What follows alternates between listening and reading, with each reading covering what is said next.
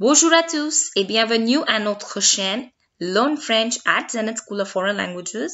Hello everyone and welcome to my channel Learn French at Zenith School of Foreign Languages.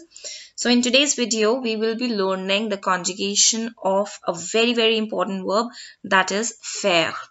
Euh, Aujourd'hui nous allons apprendre la conjugation du verbe faire which means to do or to make.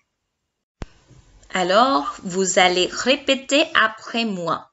You're going to repeat after me. Je fais. Je fais. Très bien. Tu fais. Tu fais. Il fait.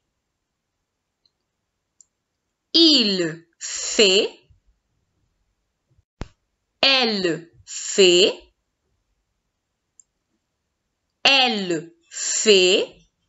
Super. Nous faisons.